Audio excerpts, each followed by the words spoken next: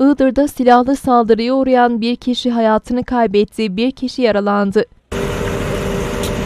BK gece saatlerinde daha önce aralarında husumet olduğu iddia edilen DK'yi evinin önünde silahla ateş açtı. Kurşunların isabet ettiği DK yaralandı. Saldırı sırasında yanında bulunan arkadaşı ise hayatını kaybetti. Bölgeye jandarma ve sağlık ekipleri sevk edildi.